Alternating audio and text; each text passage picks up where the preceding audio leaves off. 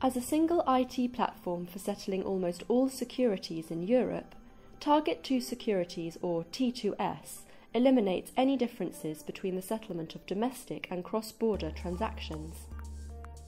Settlement is an essential part of the value chain. T2S enables securities and cash to be settled in central bank money on a single IT platform. T2S accommodates in one place market participants' dedicated central bank cash accounts and their securities accounts. Their securities accounts may be held in either one or multiple central securities depositories, or CSDs.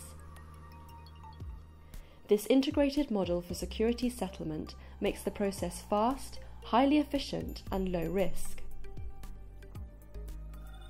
Each securities account held in T2S is attributable to a single CSD. CSDs keep all of their clients' securities positions in T2S. The dedicated cash accounts in T2S are linked to the market participant's main cash account in Target 2, or another non euro area central bank real time gross settlement account.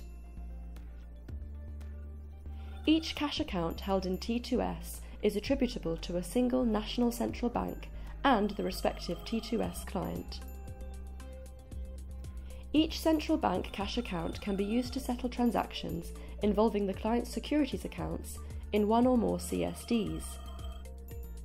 This account structure makes the process more efficient for clients using more than one CSD. Settlement instructions are matched as soon as they reach T2S. Once matched, T2S then carries out delivery versus payment settlement in real time.